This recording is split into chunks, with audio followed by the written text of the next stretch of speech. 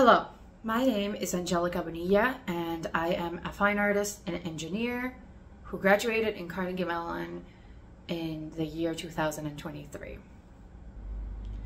In this piece, we wanted to explore essentially what hospitality means in the context of one another, what it means to try to find a home within a place with strangers, and the role of a stranger in defining a place. This piece was created with an interesting technique that I've been developing for some time. As a student at Carnegie Mellon, I became really interested in the intersection between crafts and technology.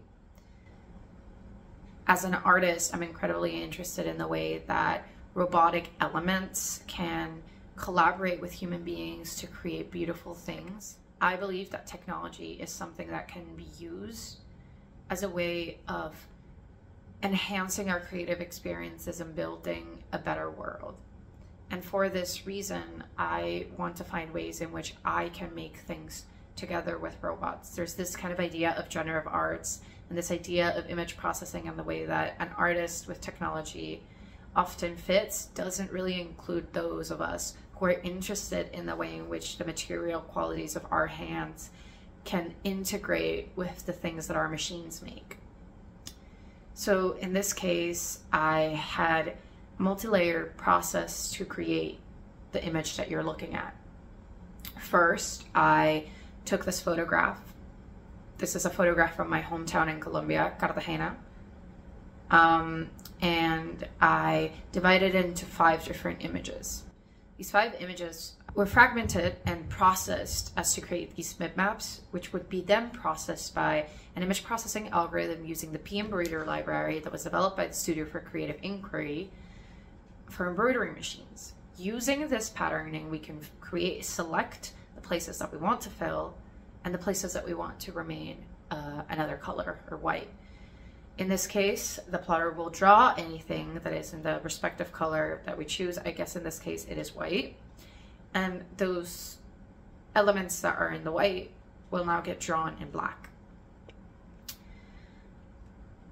That kind of inline filling quality is essentially what creates the lines that the pin plotter will now then plot with its own planification software.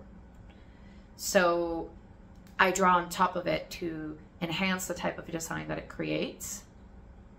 This might include drawing with it on pencil, uh, color pencil, graphite, or charcoal, and then post processing it in maybe a software like um, Procreate and coloring it in a way that might provide a more interesting visual aspect.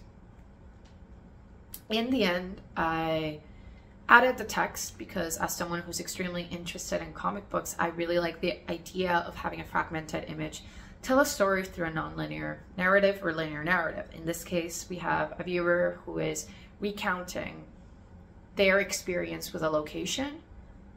So I think that it's something that kind of transcends the idea of memory doesn't transcend a single image or single place, but rather it spans multiple locations and places. You can walk through a place and you can evoke the emotion of walking through a place. And even though it's one single image, the creation of paneling allows to be able to tell this more flowing story. And so we did a lot of different explorations into different types of designs that we were interested in. We explored different types of text, different types of compositions, different combinations of these types of two things until we finally reached the point in which we wanted it to be.